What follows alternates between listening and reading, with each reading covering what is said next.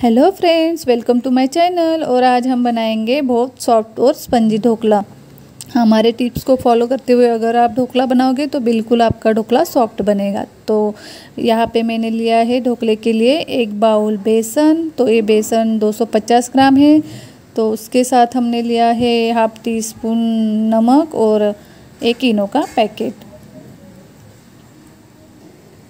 और दो tablespoon sugar हमने यहाँ पे ली है, दो पिंच हल्दी और half tea spoon citric acid तो साइट्रिक एसिड भी यहाँ पे ज़रूरी है मेडिकल स्टोर में या केक स्टोर में आपको ये मिल जाएगा, जहाँ पे केक का मटेरियल मिलता है.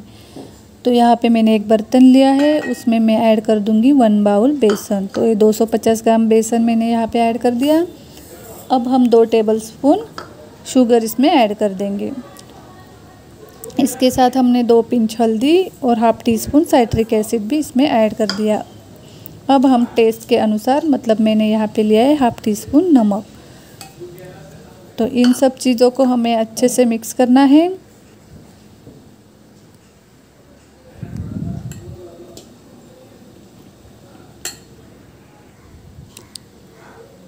अब यहाँ पे मैंने सौ एम पानी लिया है। अब थोड़ा थोड़ा पानी डाल के हम इसका बैटर बना लेंगे।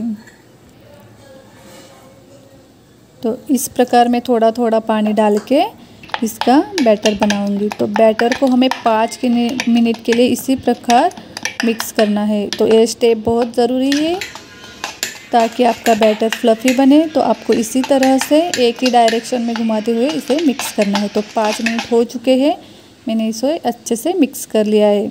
अब हम वन टेबलस्पून इसमें ऑयल ऐड करेंगे और एक मिनट के लिए फिर से मिक्स कर देंगे।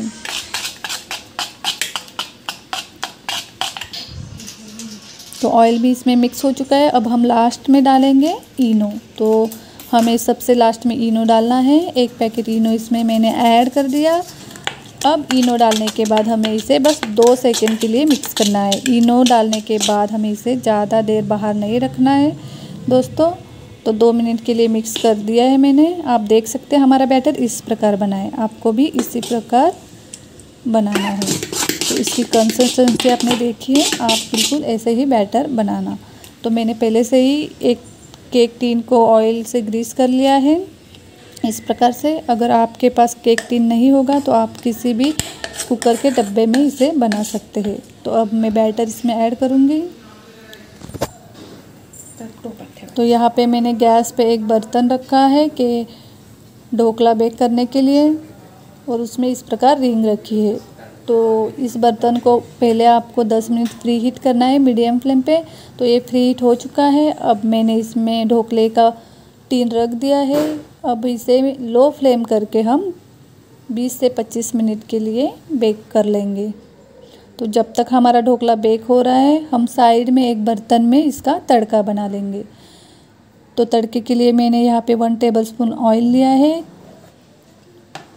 गैस को ऑन कर दिया है। तो ऑयल हमारा यहाँ पे गर्म हो चुका है। अब हम इसमें डालेंगे वन टीस्पून राई। तो यहाँ पे वन टीस्पून राई के दाने मैंने ऑयल में ऐड कर दिए हैं। दो राई के दाने चटकने लग जाए तो उसके बाद हम उसमें ऐड करेंगे हरी मिर्ची। तो यहाँ पे इस प्रकार लंबी लंबी मैंने तीन से चार मिर्ची को कट कर लिया है। अब उसमें ऐड कर दिया मैंने मिर्ची को।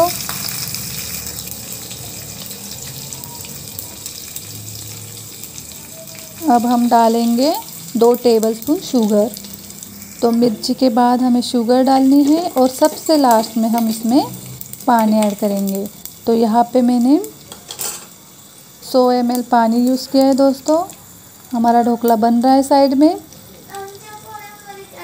तो यहाँ पे 100 एम पानी मैंने लिया है तड़के के लिए। वो हम सबसे लास्ट में इसमें तड़के में ऐड करेंगे।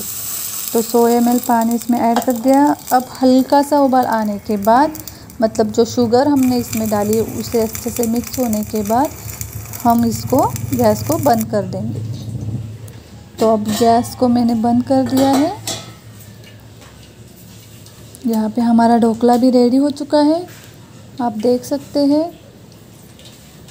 इस प्रकार टूथपिक की सहायता से आप इसे चेक कर लेंगे। अब ढोकले को हम ठंडा होने देंगे। आप देख सकते हैं हमारा टूथपिक क्लीन आ रहा है।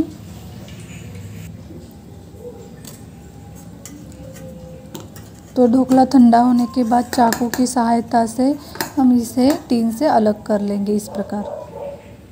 तो यहाँ पे मैंने ढोकला निकाल लिया है बाहर। और हम इसे ठंडा होने के बाद कट करेंगे दोस्तों। तो मैं आपको यहाँ पे दिखाऊँगी प्रेस करके कि हमारा ढोकला कितना स्पंज बना है। आप देख सकते हैं, बिल्कुल केक का स्पंज रहता है, बिल्कुल वैसे ही हमारा ढोकला बना है, स्पंजी। तो यहाँ पे मैंने इसे इस तरह से कट कर लिया है। अब हमने जो तड़का बनाया था, उसे ढोकले के ऊपर चम्मच की सहायता से डाल देंगे। तो इस प्रकार ढोकले के ऊपर हमें तड़के को डाल देना है, ताकि हमारा ढोकला और स्पंजी बन जाए। तो इस प्रकार हमारी रेसिपी रेडी हो चुकी है। सबसे लास्ट में हम इसे हरा धनिया से सजाएँगे कुछ इस तरह से। तो आप देख सकते हैं, हमारा ढोकला बिल्कुल स्पंजी है, किस प्रकार इसको जाली आ चुका है।